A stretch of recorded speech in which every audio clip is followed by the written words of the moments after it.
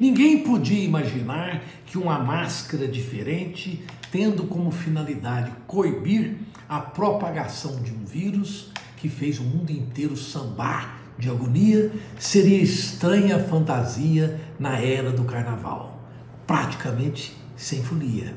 Esse carnaval represado, contido, com blocos impedidos de desfilar e com brasileiros ainda temerosos, tem prós e contras.